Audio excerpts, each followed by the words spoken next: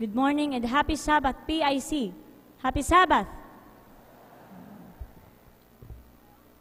Uh, right now, uh, I have uh, one illustration. Uh, there's a man who asked the pastor, Pastor, I have a big, big problem. And the pastor told him, uh, asked him, What is your problem? And a man told the pastor, I want to have a perfect, perfect uh, growing in my hair because I'm a bald. I'm, I'm, uh, my hair is bald. And I really want to have a perfect uh, hair. And the pastor told him, You know what? I have a solution, or I have the answer to your problem. And the, the man told the pastor, Pastor, what is that? I am very excited. And the pastor told him that the answer is letter A. And the man told the pastor, What is that, pastor? And the pastor told him, A stands for acceptance. Brothers and sisters, my dearly beloved brothers and sisters, right now, it's whether you, you accept or not, we pray for the Holy Spirit, for the outpouring of the Holy Spirit to guide us for our message this morning. And our topic this morning is about perfection, the outgrowth of a relationship. But before that, shall we bow down, bow down our heads to hear the word of prayer? Our gracious Heavenly Father, we ask the Holy Presence to be with us. Speak through me. And may you give us wisdom and understanding, and also the audience. Please give them the understanding about the perfection and the outgrowth of our relationship. In Jesus' name that we pray, amen.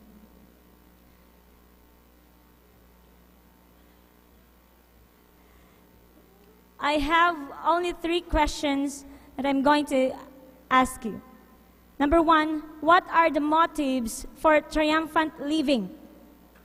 What are the motives for the triumphant living? And number two, what are we talking about when we speak of perfection? What are we talking about when we speak of perfection? And number three, why we should strive to attain perfection? Is perfection is attainable or not? That would be the three questions that we have this morning, and whether you will accept or not, we need to pray for it.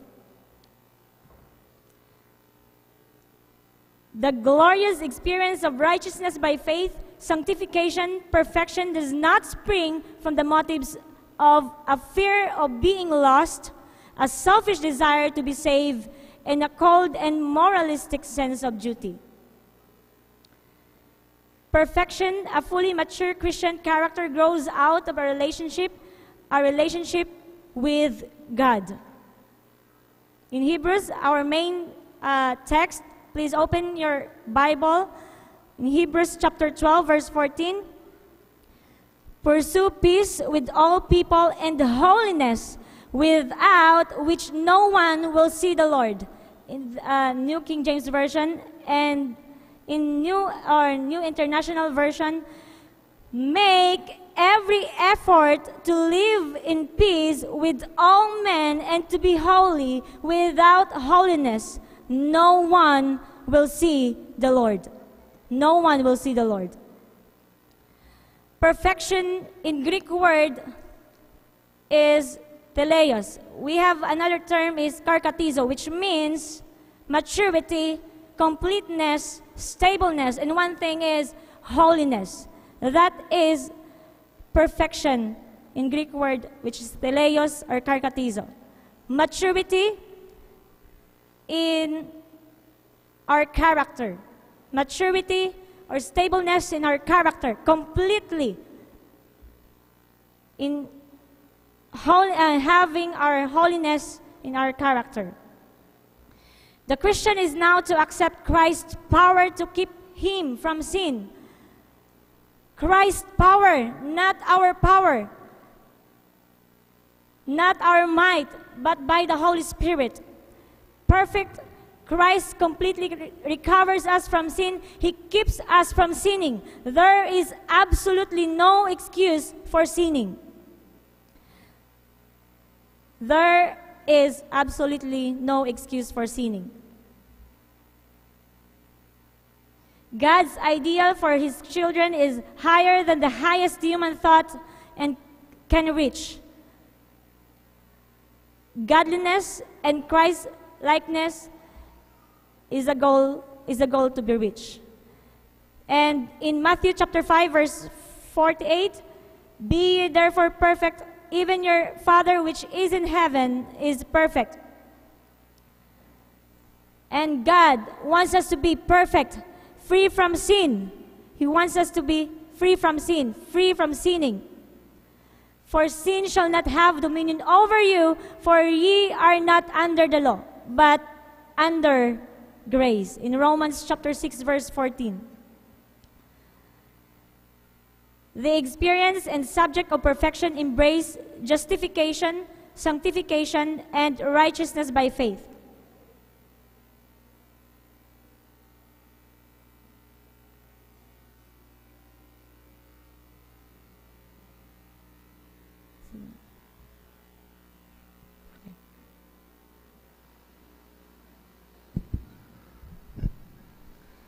The experience uh, and subject of perfection embrace justification, sanctification, and the righteousness by faith.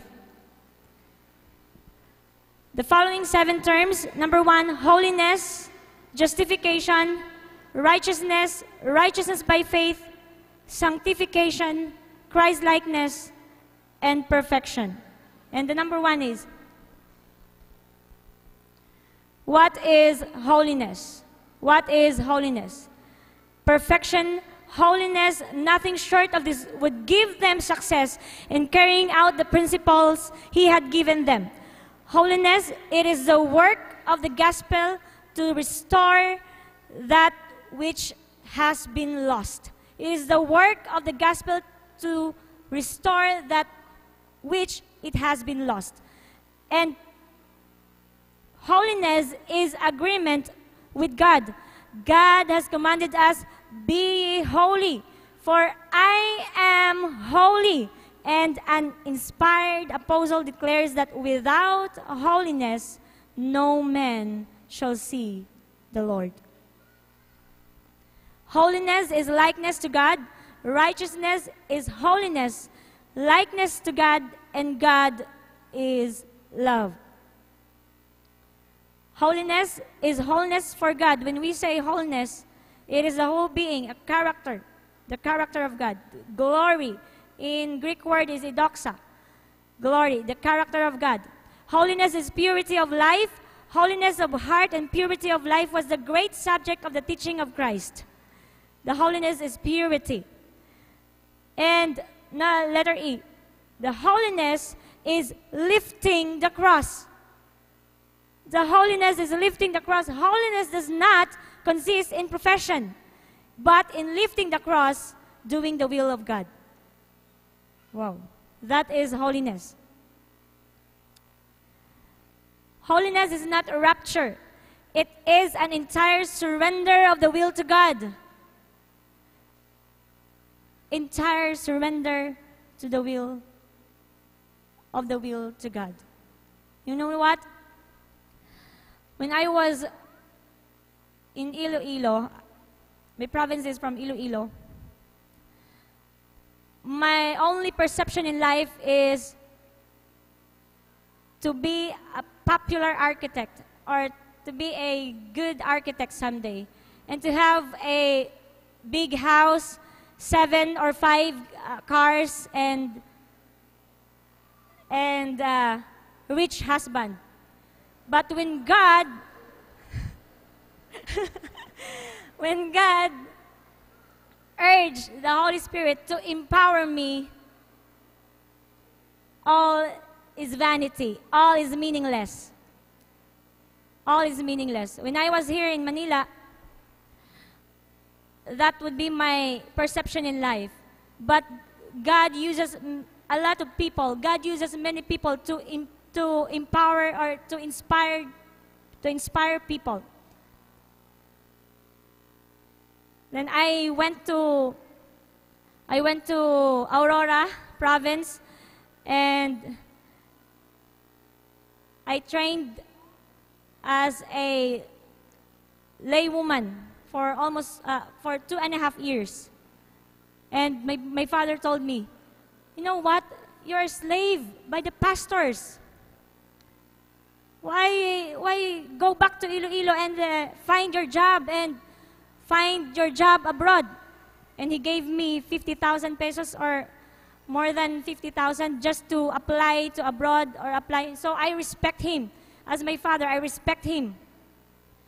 So I, I applied international and local uh, job or work, but it is, it, it is not the providence of God to work abroad. And when I came here in AUP, I have only 200 pesos. I have only 200 pesos. They don't want to, to give uh, money or uh, support for me, for my tuition. And I work, I, I applied uh, to the Cadena de Amor with uh, Capiendo. And I am thankful because he, I, he gave me 2,000 pesos just to, uh, to have our, my down payment. And you know what, brothers and sisters, I am thankful to God because God leads His people on step by step.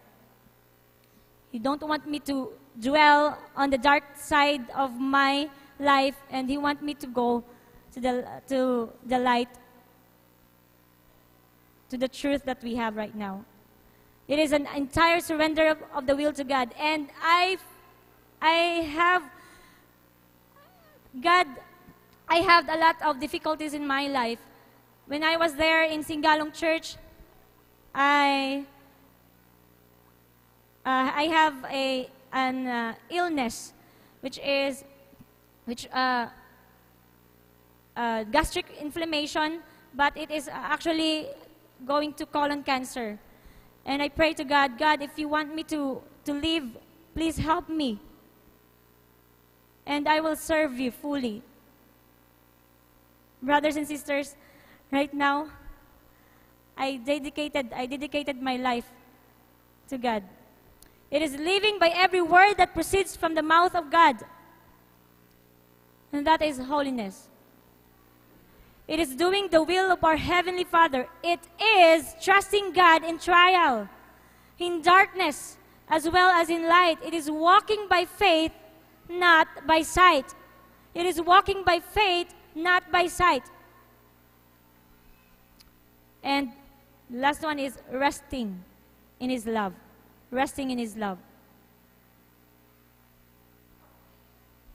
Number two, what is justification? Justification, we are saved from the penalty of sin because Jesus died for you. Jesus died for us. Jesus died for me. That is justification in Ephesians chapter 2 verse 8. Justification is pardon, forgive, forgiveness. Justified means pardon. You don't do anything.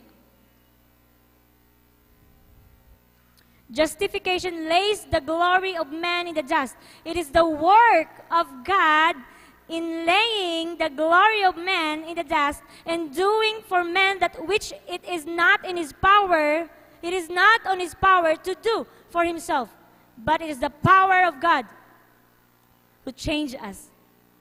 Change us. And one thing is, what is righteousness? Righteousness is love. Righteousness is embodied in Christ. Righteousness is conformity to the law of God.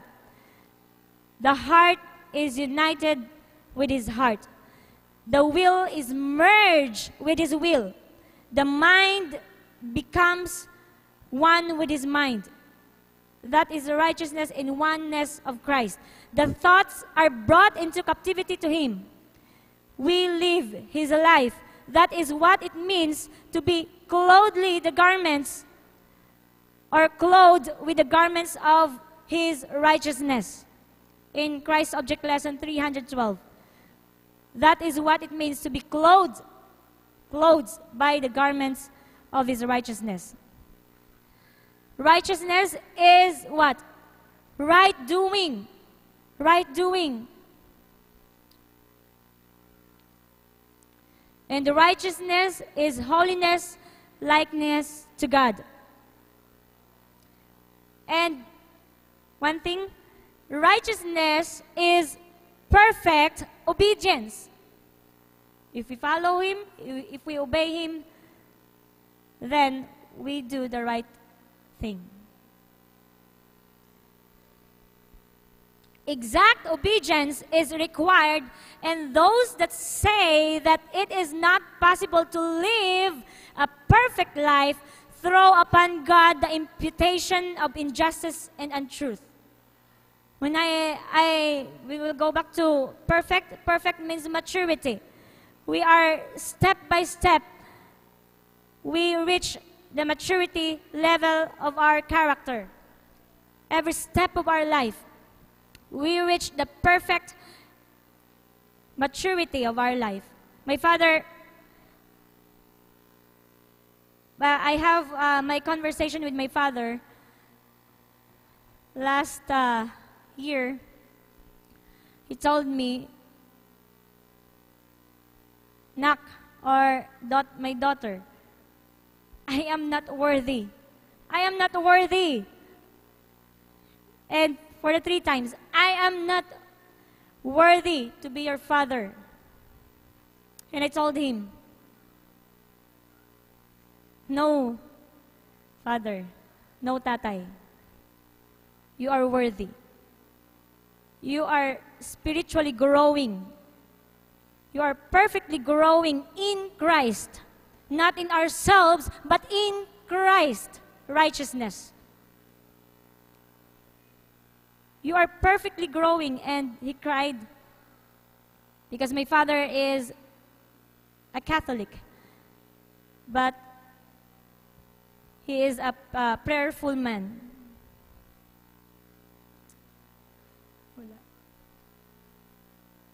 Righteousness is oneness with Christ. That is what it means to be clothed with the garments of his righteousness. Christ Object Lesson 312. What is righteousness by faith?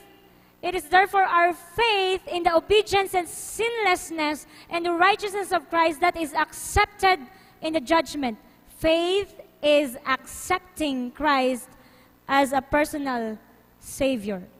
Faith is is accepting Christ as our personal Savior. Faith enables us to accept and appropriate Christ to ourselves, to receive Him and His love, forgiveness, righteousness, and power. And right now we are in sanctification. What is sanctification? Sanctification, we are being saved. In 1 Corinthians chapter, please open your Bible in 1 Corinthians chapter 1, verse 18. 1 verse 18.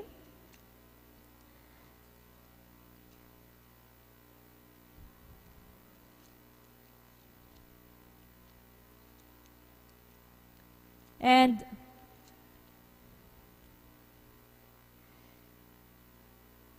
For the message of the cross is foolishness to those who are per- perishing, but to us who are being saved, it is the power of God. We are being saved from the power of sin. We are being saved. We are in a progressive work.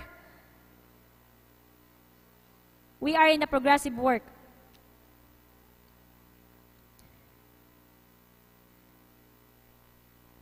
It is to give oneself wholly and without reserve to God to know and to do the will of God without regard to self or self interest, to be heavenly minded, pure, unselfish, holy, and without spot or stain. Reserve. Ladies, when I, uh, I really want to, to say about reserve, especially to the ladies. We need to be reserved. Sanctification is a Bible doctrine. Sanctification has to do with the entire being. Sanctification is an entire surrender of the will to God. Sanctification is a daily dying to self. Wow. Napakahirap. But through the Holy Spirit, it is possible to do. Dying to self it is possible to do. It is possible to do. Sanctification is a daily dying to self. Genuine sanctification is nothing less than a daily dying to self. We need to die daily. That is sanctification. It's not my righteousness, it's Christ's righteousness. It's not our uh, work. It's not my works. It's not your work, but it is Christ's works. In doing evangelism, in doing voice of youth, or some ministries, it is not our work, but it is the work of the Holy Spirit, or the work of Christ. But we are an ordinary people who used by the Holy Spirit and used by our, by our God. Perfection. Yeah, I have eight points. Perfection, the outgrowth of a relationship with God, which is created when one is converted. Converted. Wow. I was baptized when I was 10 years old. But actually, I am truly converted 2006. 2000 to uh, 1996, I was baptized 1996. But actually, I am truly converted 2006. When uh, from gener- the General Conference uh, went to our province, then they uh, conducted a revival and reformation. That would be the, my uh, turning point The sincere heart cry of the truly converted Christian will be I will be pure as Jesus in me is pure. I will be honest as Jesus in me is honest. And I will be loving as Jesus in me is loving.